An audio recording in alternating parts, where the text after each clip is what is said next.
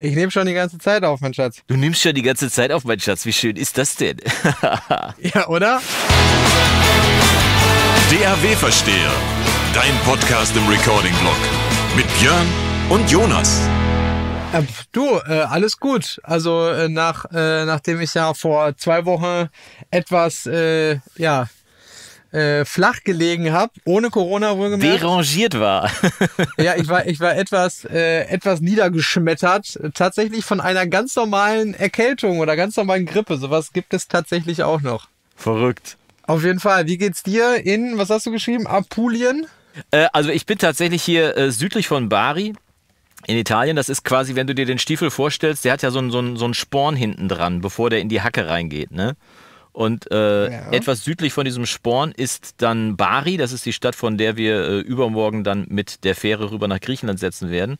Und von da aus äh, ist es dann aber noch 20, 30 Kilometer südlich ähm, von Bari. Äh, dann kommt man nach Monopoly und die Stadt gibt es tatsächlich. Das muss man sich mal vorstellen. Mein Sohn hat mich angeguckt, als wenn ich ihm ein Auto verkaufen wollte. Äh, tatsächlich, äh, ja, Monopoly. Aber ich bin noch nicht ins Gefängnis gegangen. Ja, denk dran, äh, nicht immer losgehen, ne? äh, sondern direkt, äh, direkt in den Van oder in die Sonne. Ja, ich habe viel mehr Angst vor der Einkommensteuer, weißt du, ziehe 200 ein ähm, äh, und, und gehe direkt ins, keine Ahnung, ins Gefängnis. Ja, gibt es denn auch vier Bahnhöfe in, äh, äh, in Monopoly? In Monopoly gibt es tatsächlich nur einen Bahnhof, aber es gibt einen fantastischen Campingplatz, auf dem wir gerade sind. Und äh, wir haben jetzt einige Campingplätze hier in Italien durch und dieses äh, äh ist äh, ja die Definition eines Campingplatzes in der Erinnerung an meine Jugend. Ich bin in meiner Jugend mal in Jugoslawien irgendwie, also im ehemaligen Jugoslawien campen gewesen. Und das war so ein, so ein wilder Campingplatz damals irgendwie, wo man eigentlich machen konnte, was man wollte. Die Toiletten waren auch nicht so besonders gut irgendwie. Und dies ist jetzt die moderne Variante von diesem Campingplatz. Also auch hier kann man fast alles machen, was man will. Wir stehen nahezu direkt am Meer. Wir haben eine kleine Mini-Bucht, die hier zum Campingplatz gehört. Die Sonne scheint, also zumindest bis heute Nachmittag um drei. Und äh, wir können einfach äh, ja, einen lieben Gott einen guten Mann sein lassen. Von daher ist es echt äh, mega hier im Süden. Das klingt äh, fantastisch. Das ist es auch, mein Bester. Wie ist es denn in Deutschland? Ich, ich och, also im, bei mir im Studio ist es trocken, wohl temperiert. Äh, du kennst das ja, die Altbau-Klimaanlage, die du ja in den kälteren Monaten sehr häufig bemängelt hast, äh, quasi hier, dass du frierst. Im Sommer ist das natürlich ein Vorteil. Absolut. Ähm, Ne, äh, das heißt, es ist ja eigentlich immer sehr angenehm, wobei man auch sagen muss, wir haben heute hier im Münsterland entspannte 17 Grad mit mhm. immer wieder aufkommenden äh, leichten äh, Nieselregen und einem schönen äh, grauen ähm, Himmel. Also es ist, äh, es ist wirklich wunderschön. Ich wünschte, du könntest es sehen. Ja, ich wünschte, ich müsste das nicht sehen. Ach so, muss ich ja auch gar nicht. Wie schön. Ja, wohl dem, äh, der äh, sich äh, mit einem Camper äh, in den Süden Europas abseilen kann im Sommer. Wir haben es tatsächlich gestern nochmal besprochen, meine Frau und ich. Dass, äh, Anna hatte den, äh, den Van ja gekauft vorletztes Jahr. Also schon in der Pandemie, aber vorletztes Jahr. Und da war ja äh, Krieg, äh, Inflation etc. pp. Der, war, der ganze Kram war ja noch gar nicht absehbar. Aber wir haben beide festgehalten, ähm, dass dieses doch noch nahezu antizyklische Kaufen von diesem Fahrzeug hier dazu geführt hat, dass wir jetzt einen haben und verhältnismäßig günstiger Urlaub machen können als Leute, die vielleicht jetzt in den Flieger steigen müssen, weil sie sonst nicht wegkommen. Ähm, also klar, ich meine, man kann auch auf Urlaub verzichten, auch das ist natürlich möglich, aber wenn man, wenn man die Lust nach dem Süden ver, verspürt, dann ist äh, der Campervan tatsächlich noch eine Variante, die auf jeden Fall bezahlbarer ist, als äh, jetzt noch eben einen Flieger zu buchen. Und äh, die Spritpreise hier sind auch naja, überschaubar möchte ich sagen. Wir schaffen es immer irgendwie unter 2 Euro für einen Diesel. Ich weiß nicht, wie es in Deutschland gerade aussieht. Äh, ähnlich, glaube ich. Also ich, du weißt ja, ich tanke ja nicht so oft, weil ich mein Auto glücklicherweise sehr selten benötige. ähm, aber das letzte Mal, als ich getankt habe, äh, beziehungsweise ich tanke ja kein Diesel, sondern Super.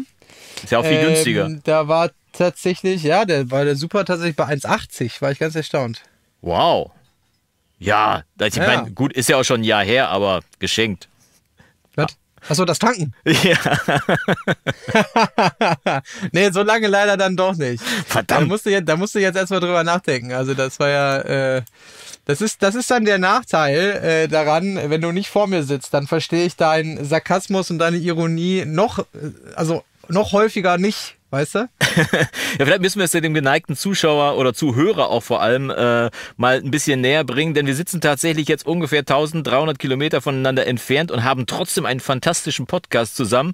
Mir nicht gegenüber, aber trotzdem zugeschaltet ist der fantastisch gut stilisierte, frisierte und äh, gut auf, besonders gut aufgelegte äh, Björn Schlüter aus dem schönen Holtweg im Münsterland, die goldenen Ohren des Münsterlandes. Ich freue mich auf jeden Fall, dass wir heute zusammengeschaltet sind, mein Lieber.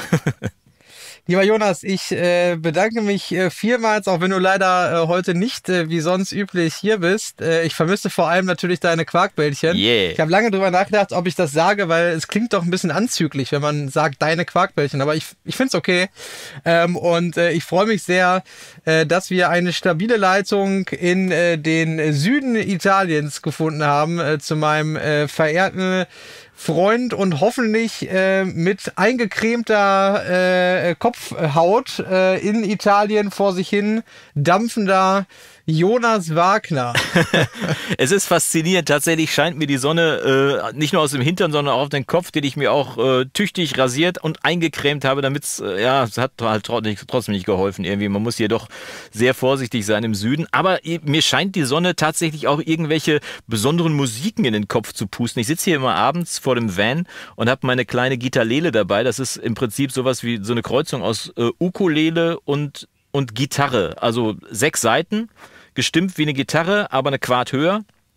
Äh, also die, die E-Seite ist äh, dann eine A. Äh, Korrigiere mich, wenn das falsch ist, das ist eine Quarte, ne? Äh, ist richtig. Ja, genau. Richtig, ja. Also die, die eigentliche dicke E-Seite ist eine A und dann geht es halt entsprechend äh, hoch wie bei einer ganz normalen Gitarre. Und dann sitze ich hier und spiele und da kommen mir ausgerechnet Sachen in den Kopf, die ich seit Jahren nicht mehr gespielt habe, weil sie mir wahrscheinlich in der Kühle der alten Heimat äh, nicht einfallen. Was weiß ich, wie Baila Baila oder der berühmte klassische italienische, äh, italienische Klassiker, von dem viele Leute glauben, er wäre ein spanisches Lied, Volare.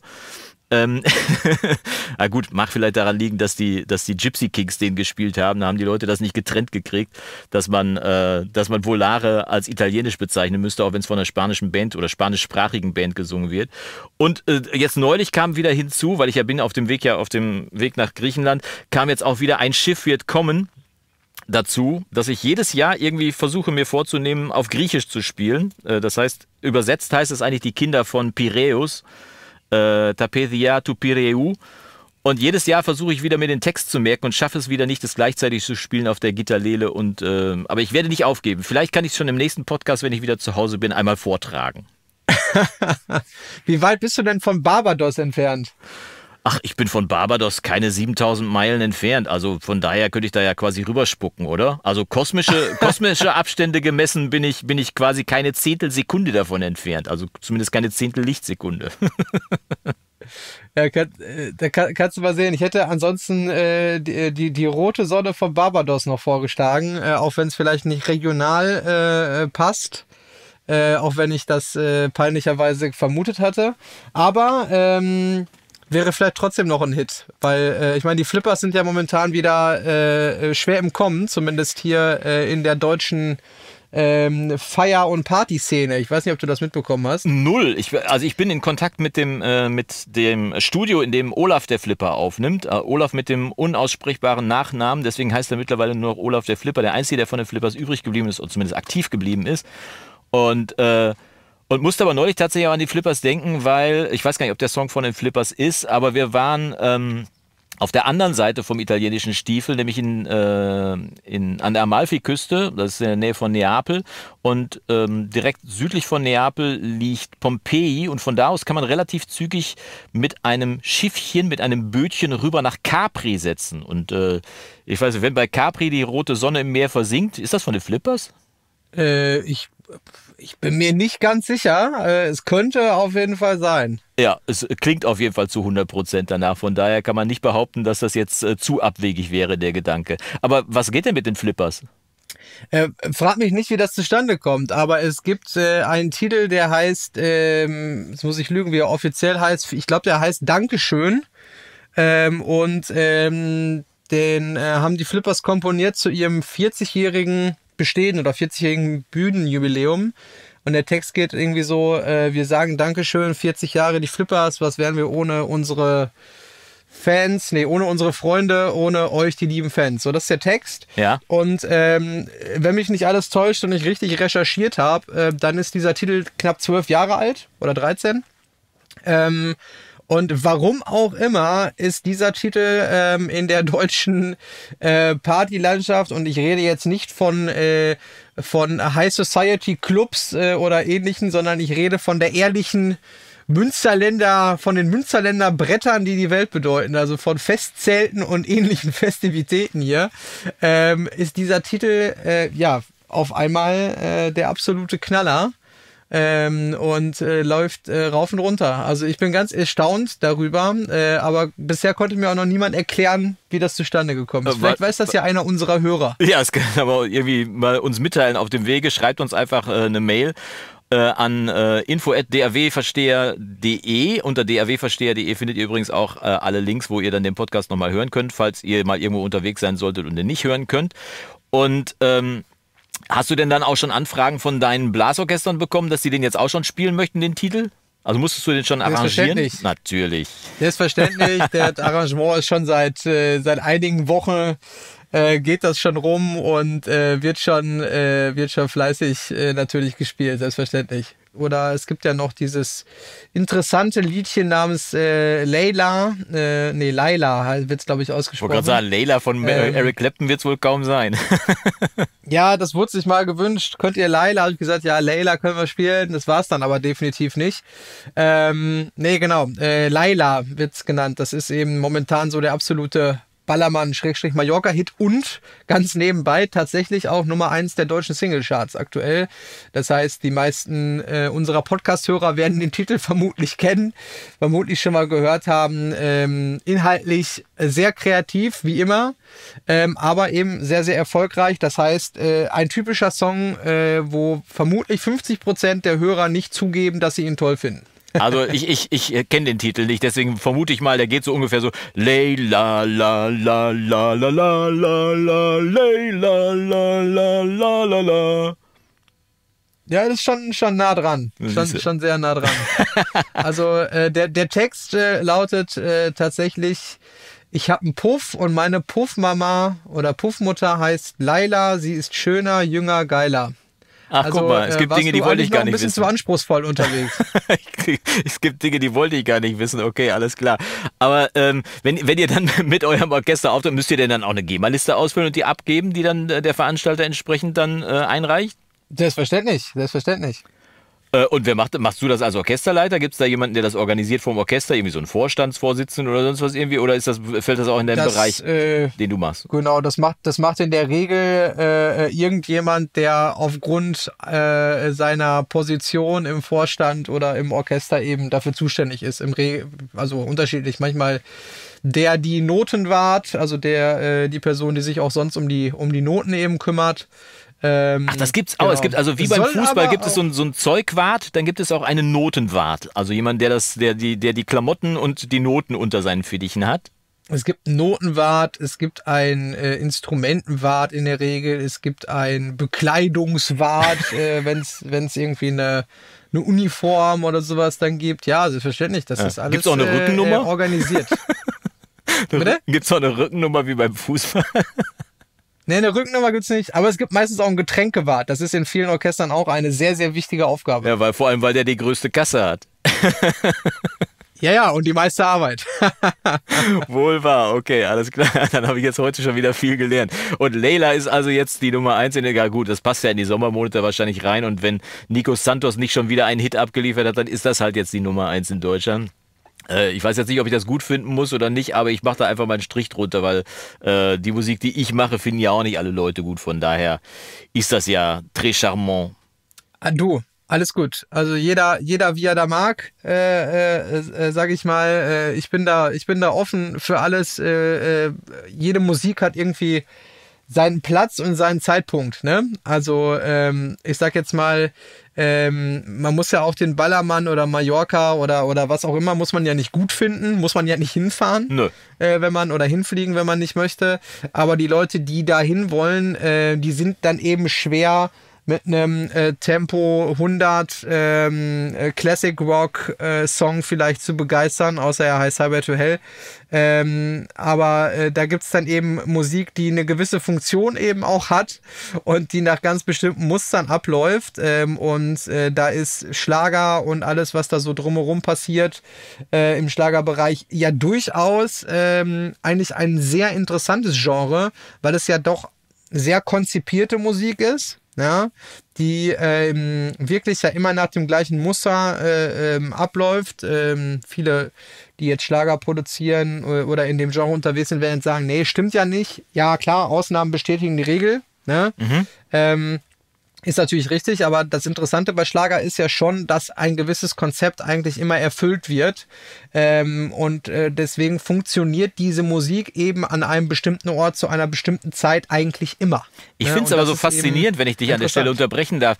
Dann, dann finde ich es trotzdem so faszinierend, dass extrem viele Leute versuchen, in diesem Schlagerbereich genau nach diesem Schema F erfolgreich zu werden. Ne? Also das ist ja eine, das ist ja eine Sparte, wo viele Leute glauben, hey, da kann ich relativ leicht erfolgreich werden, weil das Konzept der Musik, äh, der Texte und so weiter ist ist bekannt. Ne? Also es muss auf jeden Fall äh, drei oder vier Stichwörter drin sein, je nachdem, wo du die Musik spielst. Sagen wir mal, auf dem Festzelt muss auf jeden Fall Sehnsucht, Liebe, äh, Sterne und, äh, und vielleicht noch ein Wort drin sein im Text und dann hast du im Prinzip schon äh, das, das Maggi für die Suppe schon drin. Und trotzdem äh, trifft man immer wieder unzählige Studios, die noch viel unzähligere Schlagerkünstler vertreten und trotzdem schaffen es wieder nur die oberen 0,1 Prozent. Also nicht viel mehr als im Rock oder im bei den DJs oder sonst was irgendwie. Das heißt, äh, vielleicht sind da mehr Leute unterwegs, aber erfolgreich werden trotzdem nur diejenigen, die die richtigen Connections haben. Würde ich in dem Fall sogar noch mehr unterschreiben, glaube ich, als in, in jedem anderen Genre, oder? Ich glaube, das tut sich im Unterm Strich nicht viel. Ich würde jetzt nicht sagen, dass es mehr Schlagerkünstler gibt als irgendwie äh, Rockbands oder so in Deutschland. Also viele, viele äh, laufen halt sehr, sehr weit unterm Radar. Ne? Mhm. Weil ich sag jetzt mal, äh, äh der Unterschied ist das soziale Gefüge. Wenn du jetzt, ich sag jetzt mal, äh, ohne, also bitte nicht falsch verstehen, irgendwie am anderen Ende der Leitung, also ich meine jetzt nicht bei dir, Jonas, sondern bei den Hörern. Ich sag mal, so eine Band gibt es ja in verschiedenen Szenarien. Ich sag jetzt mal, so ein typisches Ding ist ja einfach, das sind irgendwie drei, vier, fünf, was auch immer, Kumpels, so, die treffen sich einmal die Woche, mhm. äh, spielen vielleicht Coversongs, ja, oder, oder komponieren halt ein bisschen, machen so ihre Songs äh, die trinken eine Kiste Bier, haben irgendwie drei Stunden irgendwie eine schöne Zeit, quatschen, irgendwie quatschen über ihre Arbeit, über ihr Leben, über ihre Familie, was auch immer. Und dann fahren wir alle nach Hause und irgendwie dreimal im Jahr gibt es halt im örtlichen, keine Ahnung, in der örtlichen Bar, Kneipe, Jugendhaus, was auch Gig. immer, genau. es halt irgendwie einen Gig. Genau, das ist im Prinzip ja? die Altherrentruppe ähm, vom Fußball ohne Sport. Ja, ja, genau. Also einfach äh, Leute, die das aus Hobby machen, aus Spaß, die haben eine gute Zeit zusammen. Absolut legitim, ähm, ja. Super. Und ne, die findest du natürlich nirgendwo. Also die, die stehen ja nicht in der Öffentlichkeit. Die versuchen ja nicht damit irgendwie ähm, Aufmerksamkeit zu bekommen. Irgendwie, die, die haben vermutlich keinen Instagram-Account oder so. Oder wenn sie einen haben, dann ist der vermutlich eher spärlich äh, gepflegt. Mhm. Äh, also es geht nicht darum, irgendwie Aufmerksamkeit, äh, Reichweite zu generieren, ja. Äh, bekannter zu werden, sondern es geht einfach nur um, um die Sache an Spaß sich. Wie du schon gesagt Zeit. hast, wie der Altherrenfußball. Ja. Ne? Ähm, im Schlager ist es, glaube ich, ein bisschen anders, weil selbst jemand, der sagt, ich mache das aus Spaß, ich kenne auch äh, den einen oder anderen, der, der das ganz normal neben seinem Job irgendwie als Schlagersänger unterwegs ist, der vielleicht mal einen eigenen Song auch produziert hat oder produziert hat lassen, meistens eher, ähm, und der vielleicht irgendwie auf gewissen Veranstaltungen, was weiß ich, Firmenfeiern oder Schützenfesten oder Schlag mich tot unterwegs ist ähm, und da äh, ein bisschen singt und halt Party macht und die Leute animiert, ne, so das typische, ähm, der, der jetzt auch keine großen Ambitionen hat, irgendwie mhm. bekannt zu werden, aber trotzdem hat dieser Mensch ja die Ambition, dass der Schützenverein hinter Tupfingen ihn aber trotzdem kennt und bucht. Ja, der will ja auch ja? gehört werden. Also äh, man macht Musik ja nicht einfach für die Schublade, sondern man will ja auch irgendwie gehört werden mit seinem Zeug, ne?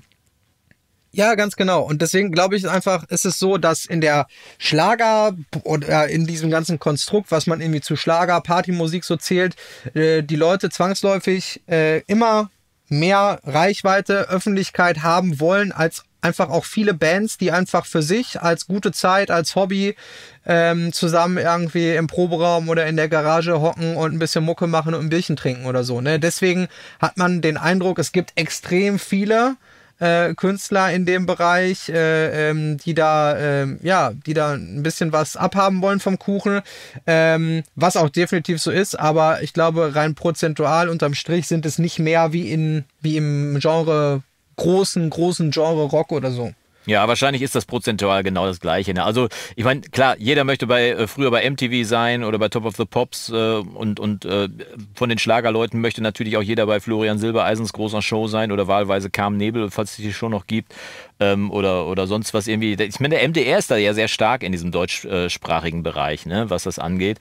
Und äh, da gibt es ja auch viel zu. Aber trotzdem da reinzukommen, ist schon irgendwie eine schwierige Sache, wo du letztendlich, glaube ich, auch genauso Connections brauchst. Du musst entweder im richtigen Studio aufnehmen, da muss sich der richtige Typ mitkriegen, oder du bist irgendwie so vernetzt, dass du irgendwie an die Leute rankommst, die dir zumindest mal die Chance geben, dass deine Musik von solchen Leuten gehört wird, weil letztendlich bei Florian zu landen dann in der Show ist dann schon wieder eine Sache, wo du sagst, okay, alles klar, das ist ja für die deutschsprachige Partymusik, nenne ich es jetzt mal, schon eher so der Olymp da anzukommen. Ne? Also wenn da ein Mickey Krause auftritt oder was weiß ich, äh, äh, Giovanni Zarella und wie die alle heißen, diese Kollegen, die da unterwegs sind, ähm, dass das, wenn man das so von außen betrachtet, hat man auch immerhin den Eindruck, dass das so ein, so ein, so ein geschlossener Verein sein könnte irgendwie. Das sind immer so die gleichen Nasen, da frisch reinzukommen, scheint schon wirklich schwierig zu sein.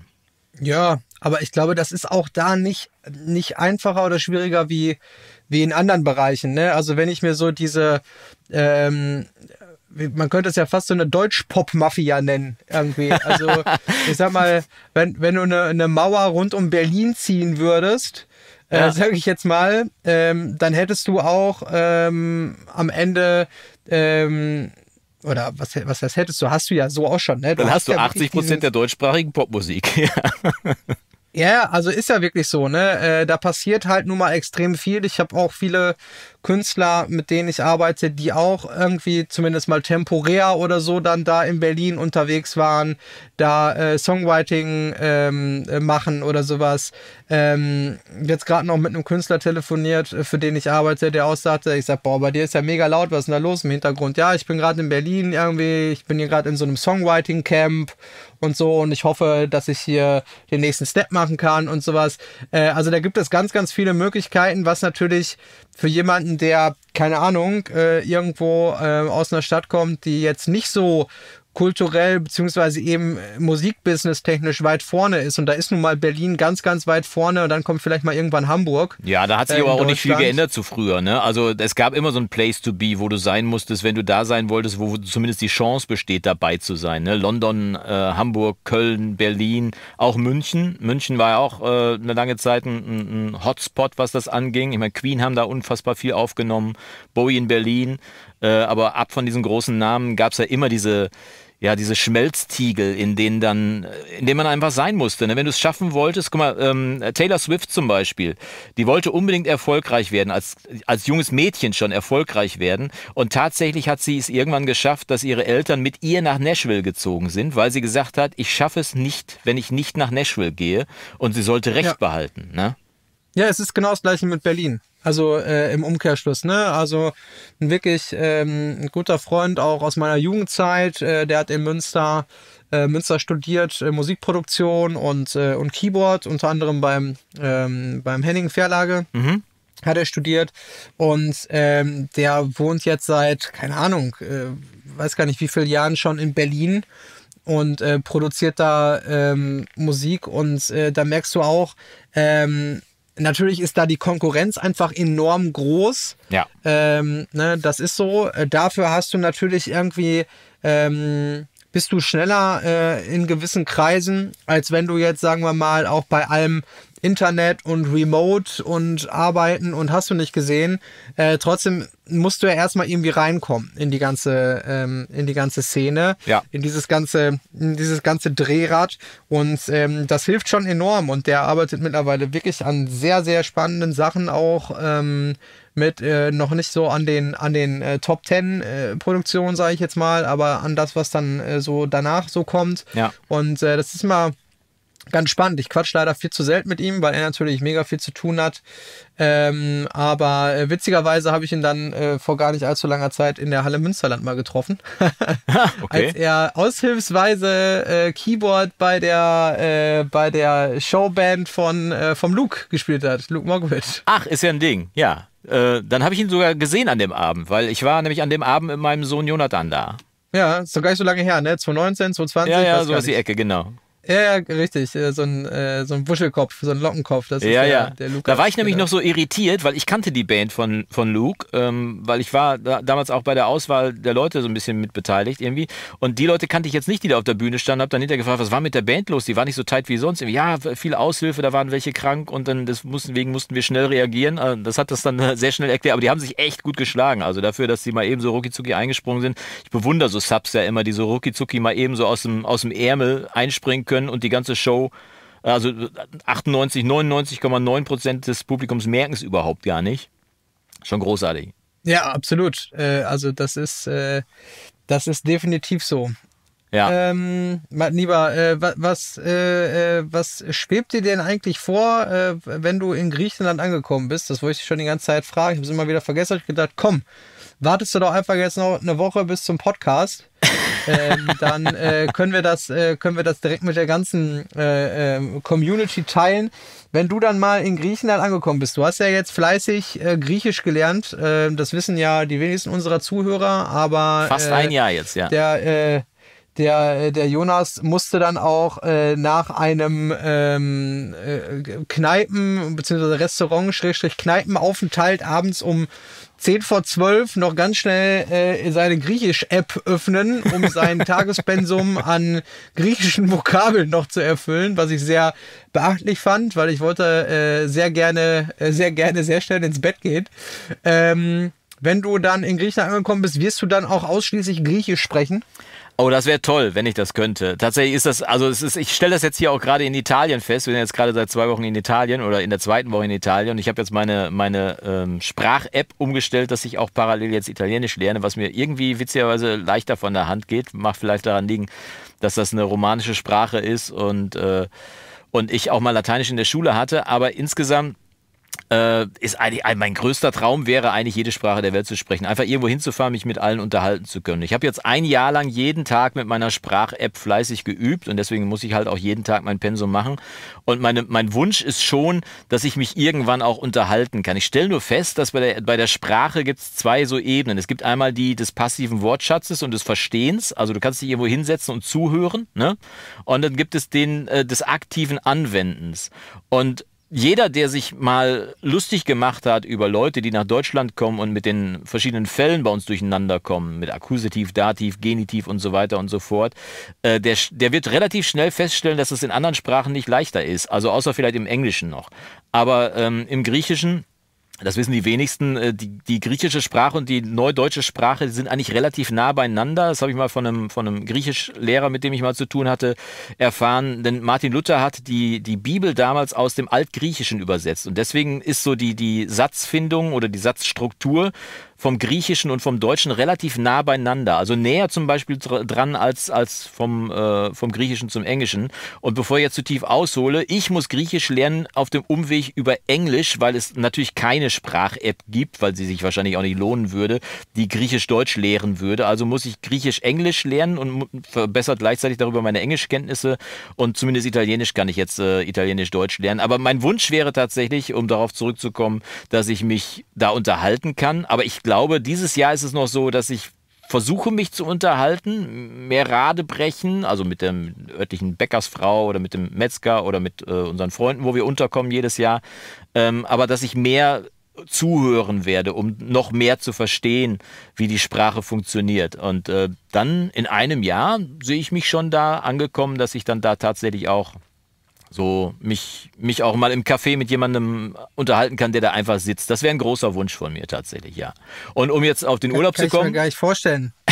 dass ich ich kann mir vorstellen, dass du, dass du, dass du mehr zuhören willst als reden. Das entspricht ja eigentlich gar nicht deinem Naturell. Wie kommst du denn darauf?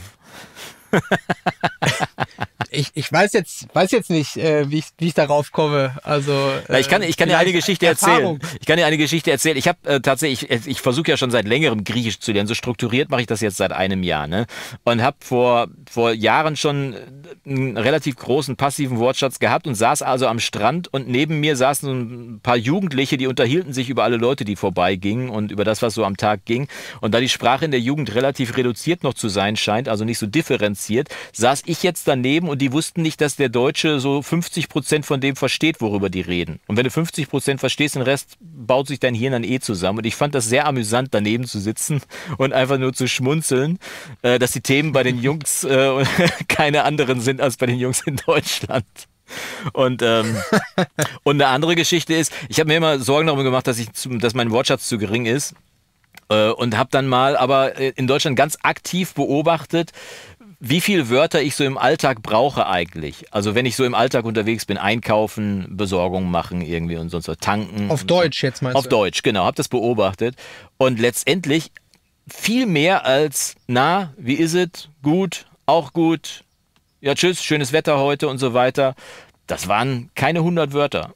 Und seitdem bin ich relativ entspannt, wenn ich in Griechenland unterwegs bin, weil ich denke, ja, die 100 Wörter habe ich auf jeden Fall drauf und im Italienischen im Zweifel auch schon. Sehr gut. Das heißt, äh, wenn du das nächste Mal dann hier bist, äh, wenn wir den Podcast wieder hier aufzeichnen oder bei dir im Studio, ähm, dann können wir anschließend auch zum Italiener gehen. Wir müssen nicht zwangsläufig zum Griechen gehen. Nee. Das ist jetzt, äh, ne, ne ist griechisch und äh, das ist ein bisschen verwirrend. Ne, ne heißt ja. da kommt der ein oder andere Deutsche unter, äh, durcheinander. Ein Bekannter von mir, der hat in Griechenland, wollte der heiraten, weil der wollte nie heiraten. Aber er hat gesagt, wenn ich heirate, äh, dann in Griechenland, weil der, wenn der mich dann fragt, ob ich heiraten will, dann sage ich ne. das war so seine, seine Rechtfertigung vor sich selbst. Äh, letztendlich, ja, er hat tatsächlich in Griechenland geheiratet und ist dann äh, seitdem auch schon über zehn Jahre mittlerweile glücklich verheiratet. Und was, was den Rest angeht, ich würde da tatsächlich gerne, super gerne meine, meine Sommer verbringen. Ne? Wenn das gehen würde, irgendwie äh, unter Bäumen mit äh, quietschenden Zikaden und, äh, und dieser ganze Flair. Und was ich auch großartig finde, ist, äh, dass in den südländischen Städten äh, oder in, in, im Süden, dass die Leute tatsächlich über Tag einfach mal zur Ruhe kommen können und dürfen. Der Deutsche darf ja irgendwie nie zur Ruhe kommen. Ne? Wenn du tagsüber arbeitest, darfst du ja nicht irgendwie zur Ruhe kommen. Eine Mittagspause irgendwie mal ein halbes Stündchen hinlegen, da wirst du ja schon schief angeguckt in der Firma. Aber äh, hier ist es einfach auch wegen der Hitze, dass einfach alles in der, im Mittag einfach mal zur Ruhe kommt. Also hier auf dem Campingplatz zum Beispiel, wo wir jetzt gerade sind, da gibt es von 13 Uhr bis 16 Uhr ist Ruhepause. Da fährt kein Auto, da gibt es keine lauten Geräusche. Und, äh, und so spießig wie das klingen mag irgendwie, äh, wenn man sich erstmal darauf eingelassen hat, hat das was unfassbar Beruhigendes, einfach mal drei Stunden am Tag die Lunte hängen lassen zu können und sie nicht dauernd anzünden zu müssen, weißt du? Ja, ich kann das, äh, ich kann das ganz gut nachvollziehen. Ich bin auch eher so der, der Typ ähm, Stress äh, ist, gut und vielleicht auch äh, gewissermaßen wichtig so für, äh, für den Selbsterhaltungstrieb. Absolut, ja. also ich, ich funktioniere auch definitiv besser mit einem gewissen Stresslevel. Also das muss jetzt nicht immer auf Anschlag sein oder ja. sowas. Ähm, aber ich bin auch ultra schlecht im Nichtstun. Und das ist tatsächlich eine Sache, die ich jetzt hier auch wieder tatsächlich auch lernen und zulassen muss, nichts tun. Wirklich, also ohne schlechtes Gewissen zu sitzen, zu atmen, Löcher in die Luft zu gucken, zu lesen und nicht zu denken, was könnte ich jetzt während der Zeit auch noch alles machen. Wie du dir sicherlich vorstellen kannst, habe ich, bevor ich jetzt hier in den Süden gestartet bin, äh, unfassbar viel vorbereiten äh, dürfen für den Premium-Bereich. Im Recording-Blog habe ich eine ganze Menge vorbereitet, weil ich ja, wie gesagt, erst im August wieder da bin und habe dann also alles doppelt und dreifach vorbereitet, was ich sonst einfach so nebenbei, nicht nebenbei, aber was ich so in Ruhe machen kann. Ne? Und habe dann extrem viel Stress gehabt. Und dann so die ersten zwei Tage, die wir im Van saßen und nur gefahren sind, als wir dann am Gardasee angekommen sind, habe ich da gesessen und ich konnte überhaupt nicht still sitzen. Also es war, war nicht in meinem Naturell zu sitzen und nichts zu tun. Das war so schwer. Ich, äh, ich würde das zu 100% unterschreiben. Also ich kann das, ich kann das absolut nicht.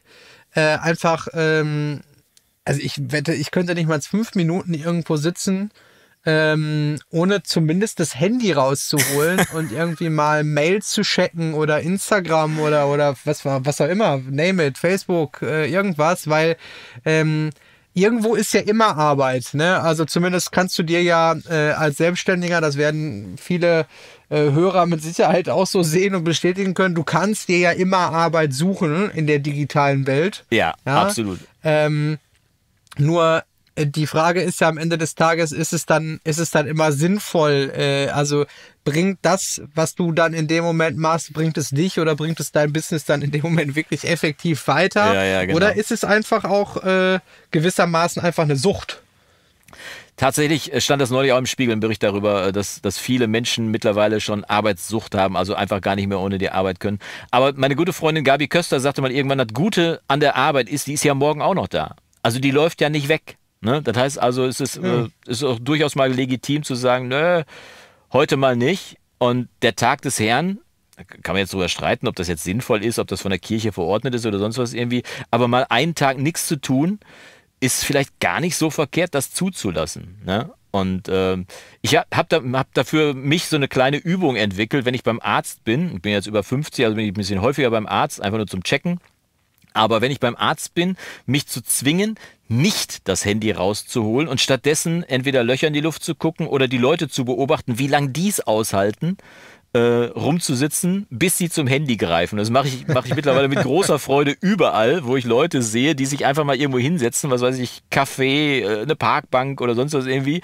Und wenn ich die Möglichkeit habe, beobachte ich immer mal ganz gerne, wie lange die wohl brauchen, wie lange die aushalten, nicht auf ihr Insta zu gucken oder sonst was irgendwie.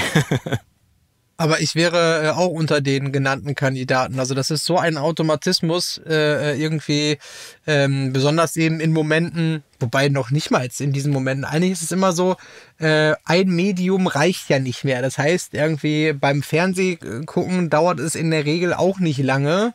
Ähm, kommt natürlich so ein bisschen auf den Inhalt an, der läuft, aber ich sag mal, äh, wenn es jetzt nicht wirklich eine sehr spannende, äh, ein sehr spannendes Programm ist oder sowas, dann ist das Handy da auch schon in der Hand. Ähm, und in anderen Situationen ähm, sobald man eben weiß, keine Ahnung, ich tue was in die Mikrowelle und stelle die Mikrowelle auf eine Minute ein, dann habe ich ja eine Minute nichts zu tun. Ja, so ein ja? Ärger. Äh, also das, das, das geht ja gar nicht, weil äh, das, das, das würde ja, würde ja äh, dementsprechend, dass ich jetzt eine Minute Freizeit hätte. Also äh, ich, du merkst schon, ähm, vermutlich äh, sollten wir einfach tauschen. Äh, du äh, kommst äh, schnell nach Holtwig und ähm, arbeitest die nächsten äh, vier Wochen hier bei mir im Studio und ich äh, werde mich einfach äh, bei dir äh, vor den Van setzen und äh, äh, Löcher, Löcher in die, in die Luft gucken. Das klingt ja so verlockend, ne? aber ich, ich wiederhole es nochmal. Die Übung ist echt, also als wir hier angekommen sind im Monopoly, hat mich meine Frau gefragt, was machen wir jetzt? Wir hatten vorher, hatten wir ähm, Gardasee gemacht, dann haben wir Rom haben wir besucht, wir haben Neapel gesehen, wir haben Pompeji gesehen und so überall Sightseeing gemacht. Was machen wir jetzt im Monopoly? Ich sage, einfach mal nur sitzen und atmen, wie wäre es mal damit? Also einfach mal zuzulassen, mal runterzukommen mhm. aus dem, aus dem Riesentrott. Und die Übung klingt so easy. Setz dich hin, guck und hab kein schlechtes Gewissen dabei rauszugucken oder aufs Meer oder sonst was irgendwie. Ist nahezu nicht, nicht direkt machbar. Also da wirklich diesen, diesen schlechter Gewissenfaktor auszuschalten und zu sagen, nee, es ist okay, dass ich jetzt hier sitze, ist wirklich weiß nicht, woher das kommt, irgendwie, ob das, ob das in, nur in unseren deutschen Genen ist oder ob das generell in unserer getriebenen Zeit so ist. Meine Kids haben ja auch ständig irgendwelche Bildschirme vorm Gesicht und auch beim Fernsehen, bei einigen Sendungen heißt das ja Second Screen, dass man so zusätzliche Informationen irgendwie nochmal bekommt, weil die Information von vorne reicht ja alleine nicht irgendwie. Ähm, aber sich einfach mal hinzusetzen und einen Film zu gucken, ohne das Handy dabei in der Hand zu halten, ist auch eine Sache, wo ich den Kindern manchmal sage, jetzt leg doch mal das Ding zur Seite irgendwie. Also ich weiß, wie schwer das ist, aber lass es uns doch wenigstens einfach mal versuchen. Und ähm, das scheint auch kein, kein Generationending zu sein. Also so nach dem Motto, so oberhalb von 60 ähm, macht man das nicht so, weil, weil man nicht mit dem Handy aufgewachsen ist. Ganz im Gegenteil. Ich beobachte hier so viele Leute, die wirklich auch ständig die Telefone in der Hand haben und äh, Und sei es nur, um eben mal kurz zu gucken, wie das Wetter in einer halben Stunde ist. Wo du sagst, ja, weißt du doch in einer halben Stunde eh schon. Also spätestens in einer halben Stunde weißt du, wie das Wetter wird. Naja, du hast mir gesagt, äh, du erwartest Regen gegen 15 Uhr. Also ich würde sagen, das hast du auch nicht ohne App herausgefunden, oder? Meine Tochter hat es gesagt. Äh, und in diesem Fall, in diesem Fall äh, habe ich es dann nochmal kontrolliert natürlich, damit ich auch sicherstellen kann, dass sie, dass sie auch keinen Fehler gemacht hat. Logo. Ne? Sehr schön. Ja, aber momentan muss ich auch ganz ehrlich sagen, bin ich auch gar nicht traurig darum, äh, dass ich nicht äh, in Monopoly in Italien ähm, äh, sitze und Löcher in die Luft gucke, weil einfach viel zu viele spannende und wirklich tolle, tolle Songs hier bei mir auf dem, auf dem Schreibtisch Ja, erzähl doch mal, also was da bin, am Start ist. was da so am Start ist. Also ich habe ähm, tatsächlich ähm, ein super äh, diverses Programm irgendwie jetzt diese Woche bisher gehabt. Also ich hatte von ja, Hard Rock äh, würde ich es jetzt mal nennen, äh, ganz, ganz, äh, ganz spannend. Äh, zwei Songs äh, von einer Band namens äh, Bourbon Bastards. Mir sehr gut gefallen. Der Name, also so richtig schöner klassischer, ja, Classic, Schrägstrich, Hardrock, äh, kann man, kann man äh, irgendwie nicht so ganz genau definieren. Das war toll. Dann äh, ein Album für ähm, einen ähm, englischen, ähm, äh, also ja, Rapper, so kann man es nennen, ist so ein bisschen Rap meets äh, RB, äh, so ein bisschen, äh, also aus äh, UK. Ähm, habe ich gemacht Anfang der Woche, sehr, sehr spannend. Ähm, dann habe ich nach relativ langer Zeit, also ich würde jetzt sagen, ich hatte bestimmt zwei, drei Monate keine elektronische Musik mehr. Okay. Äh, also so richtig, so richtig elektronische Musik im klassischen Sinne. Ähm, tatsächlich äh, zwei Techno-Tracks gemacht, was sehr spannend war, ähm, weil ähm, ich nenne da jetzt mal keine Details. Die, die, die Mixe waren tatsächlich nicht so toll ähm, was der Produzent aber wusste. Aber wie, wie geht das? Ich meine, das sind doch alles, sind doch alles vorprozessierte Sounds normalerweise, die ja genutzt werden. Ja, da, da lag es tatsächlich eher dann an raumakustischen Sachen. Ah, okay. Ähm, warum das nicht so gut geklappt hat. Ähm, ist auch übrigens jemand, der sehr, sehr eifrig den Recording-Blog schaut und hört. Deswegen weiß ich, dass er diesen Podcast auch hört. ähm, ähm, und äh, genau, es, äh, wir haben herausgefunden, es lag auf jeden Fall vieles an der Raumakustik, wo man vielleicht auch mal wieder äh, einhaken kann und sagen kann, auch kleinste äh, Dinge, die man, die man anpasst oder die man verändert ja. äh, in seinem Home-Studio, in seinem äh, Bedroom, in seinem was auch immer, wo man eben sitzt und Musik macht, ähm, können da manchmal einen riesengroßen Einfluss haben, weil ähm, wir tatsächlich dann so ein bisschen gequatscht haben, nachdem ich ihn ähm, also es sollte eigentlich ein Stereo-Mastering sein, ganz mhm. klassisch.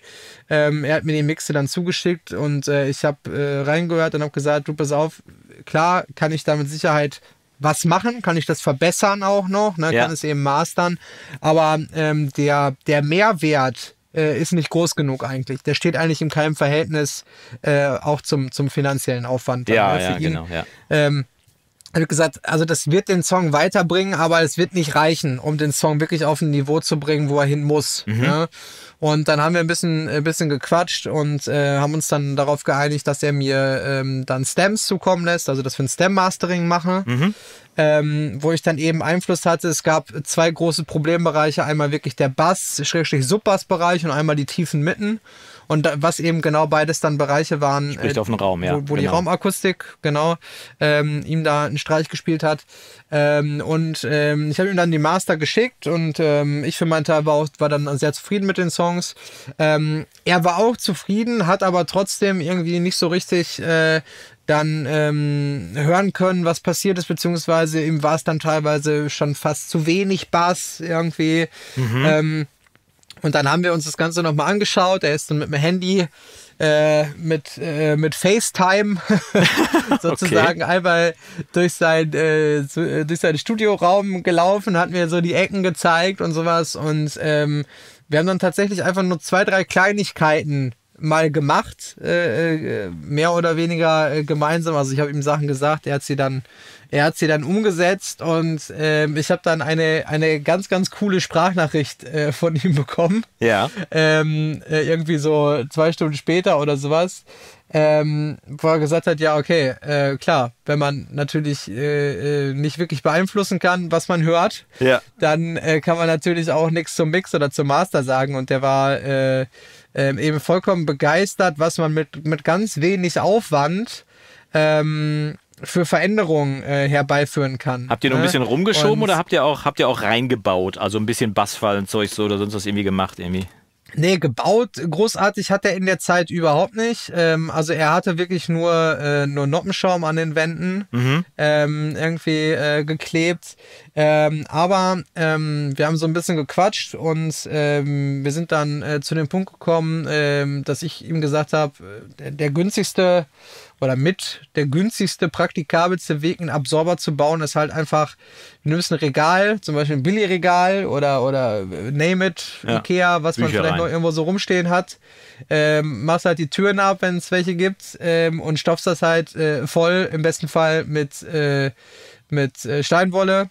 Ja. Äh, Im schlimmsten Fall, wenn, es, wenn du keine Steinwolle hast, keine Ahnung, nimmst du jetzt mal Kissen oder halt irgendwas Weiches, Ja. äh, irgendwas, was, was Masse hat, Decken, schlag mich tot. Ja. Und ähm, er ist dann halt tatsächlich losgefahren. Er hat gesagt, ja, ich habe irgendwie noch zwei Billigregale, die stehen hier ähm, rum äh, von, von äh, äh, seiner Studentenbude oder was auch immer. Mhm. okay.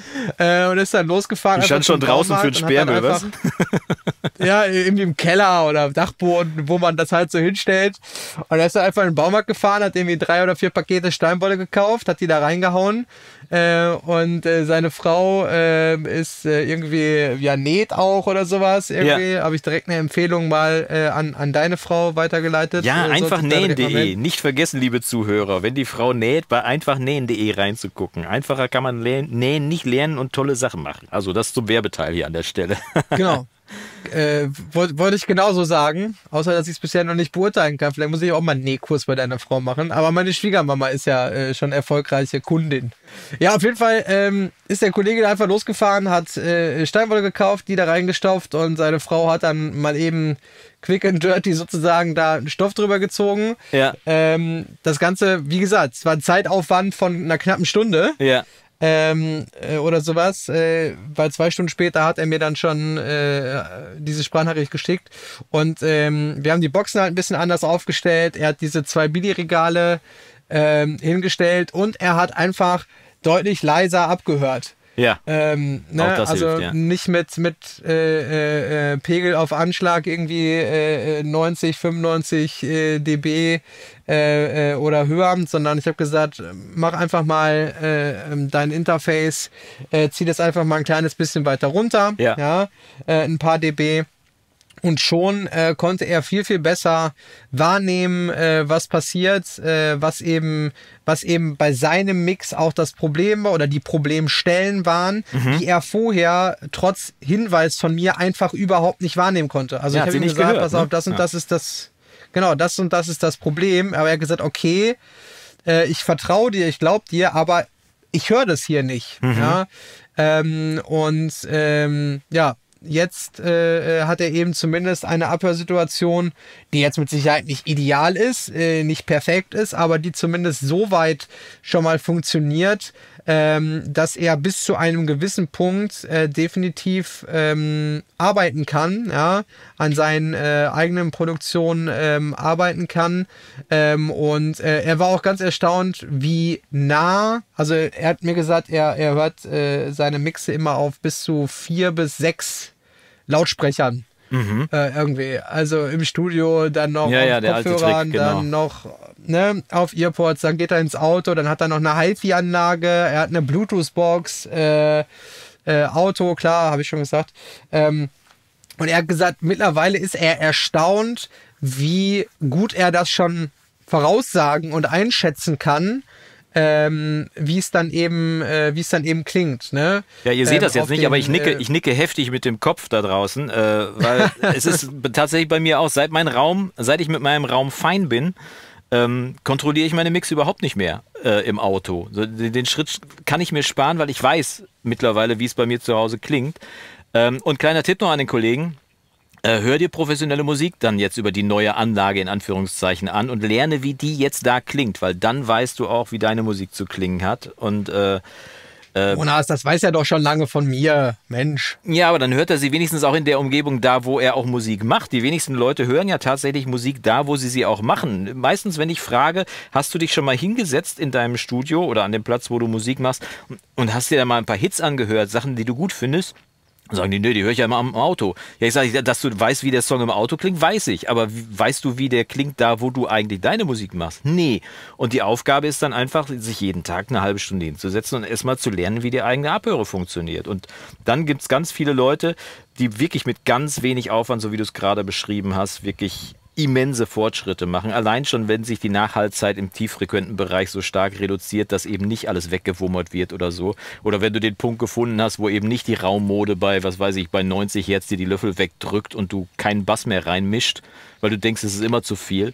Und so weiter und so fort. Also das ist echt, ja, habt ihr super gemacht. Großartig. Bin, bin totaler Fan von der kleinen Maßnahme. Ja, genau. Also das sind äh, natürlich, je nachdem, was man am Ende des Tages haben möchte für ein Ergebnis ne, oder was, was man als Ziel hat. Ähm, das ist mit Sicherheit keine Umgebung, um, ähm, um zu mastern oder zumindest äh, für sich selber kann man ja machen, was man möchte, aber zumindest nicht, äh, um äh, professionell zu mastern. Ähm, aber das ist mit Sicherheit eine Umgebung, wo man ähm, eine Produktion und dann eben, wie du schon gesagt hast, das sind alles vorprozessierte Sounds. Dementsprechend äh, passiert der Mix ja eigentlich in der Produktion häufig schon parallel. Ja. Ähm, ne, dass, äh, dass man da schon zu sehr, sehr guten Ergebnissen oder zumindest sehr, sehr weit kommen kann. Äh, weil letzten Endes geht es ja bei vielen geht es ja gar nicht um die letzten 10 Prozent. Ne? Das klingt jetzt auch ein bisschen doof ähm, oder, oder vielleicht ein bisschen von oben herab oder so, aber bei vielen geht es ja gar nicht um die letzten 10 Prozent rauszuholen, Nein. sondern ähm, bei vielen geht es ja darum, überhaupt erstmal ein, ein stabiles, ein funktionierendes Konstrukt ähm, sprich einen balancierten Mix äh, hinzubekommen. Da reden wir ja noch gar nicht über, über Feintuning, über Automation, über äh, den Unterschied zwischen dem 1176 von Waves und dem von Universal Audio, sondern da geht es ja dann einfach nur darum, ähm, überhaupt erstmal ähm, ja, diese, diese Basis, dieses Fundament zu legen für all das, was da hinten mein, noch passiert. Mein Freund Uwe hat mal gesagt auf die Frage, was willst du eigentlich erreichen? Ich habe ihm die Frage gestellt, was willst du eigentlich mit deiner Musik? Und er sagte, ich will, dass meine Musik einfach nur tageslichttauglich wird, dass ich sie vorzeigen kann. Und da haben wir zwei Jahre ja. dran gearbeitet und äh, neulich hat das, äh, der ist jetzt zum zweiten Mal schon beim Hofa-Contest dabei und reicht seinen Song da ein und kriegt auch gute Kritiken und ist jetzt selbst auch so selbstbewusst, dass er sagt, nee, jetzt ist meine Musik tageslichttauglich. Und wenn ich mir Mixe von vor zwei Jahren anhören, dann war ich sowohl musikalisch als auch mixtechnisch noch lange nicht da, wo ich heute bin. Ähm, und diesen, diesen Satz, dass meine Musik tageslichttauglich wird, den habe ich mir gemerkt, weil den finde ich großartig, weil das ist jetzt nicht irgendwie, ich will einen Welthit schreiben, oder ich will äh, äh, den, den, äh, den zweiten, zweitbesten Clapton Coversong der Welt machen. Nein, ich will, dass sie tageslichttauglich ist. Dass ich mich nicht schämen muss, wenn ich sie auf einer fremden Anlage vorstelle, wenn ich sie bei irgendjemandem im Auto spiele oder sonst was irgendwie mache. Das darum geht's. Und das finde ich, ja, das ist ein hehres Ziel und auf jeden Fall immer erreichenswert. Ja, jeder startet ja an einem anderen Punkt. Ne? Jeder hat ein anderes Ziel, jeder hat eine andere Idee, jeder hat ein anderes Ideal äh, äh, wonach er, wonach er vielleicht auch strebt.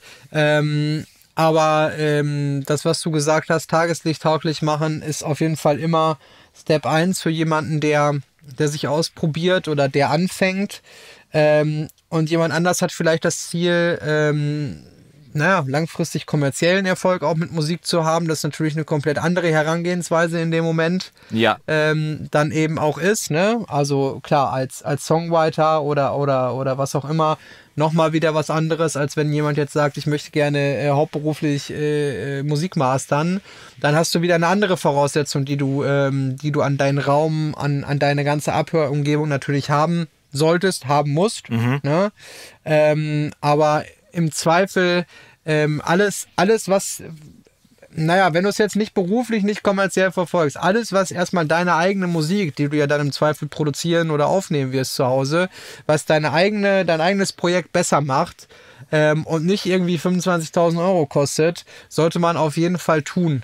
Ja, und wenn es nur darum geht, irgendwie, äh, ich sage jetzt mal, für einen Huni ein bisschen Steinwolle zu kaufen oder was auch immer das gekostet hat, ja. oder vielleicht, äh, ähm, keine Ahnung, sich mal äh, ein Messmikrofon zu kaufen äh, oder zumindest mal äh, sich mit dem theoretischen Wissen eines, äh, eines Dreiecks äh, für die Abhörsituation oder äh, oder sowas zu beschäftigen. Das sind ja alles Dinge, die, das ist keine Atomphysik. Ja, das Wissen ist überall kostenlos zu finden. Da gibt es sehr fundierte Quellen.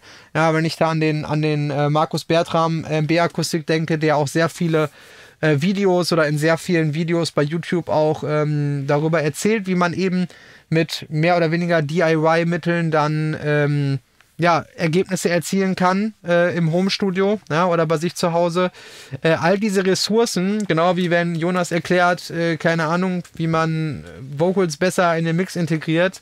Äh, Im Recording-Blog gibt es ja auch andere Ressourcen, ähm, die man nutzen kann, ähm, als Grundvoraussetzung dafür, überhaupt zu hören, was man überhaupt verändert, äh, wenn man irgendwo dran dreht oder wenn man vielleicht auch irgendeinen Tipp oder Trick aus dem Recording-Blog äh, von, von uns beiden oder von dir dann irgendwie anwendet. Ne? Ja, das, das, das, das Ding vergessen. ist, ja, das Ding ist aber, also man muss wirklich darauf achten. Es gibt ja zwei, zwei Welten. Ne? Es gibt die eine, dass du dich mit der Thema, genau das, was du gerade gesagt hast, dass man sich mit dem Thema auseinandersetzt, sich das theoretische Wissen aneignet, sich damit auseinandersetzt, auch mal seinen Raum misst und das, das kostet ja alles Zeit. Ne?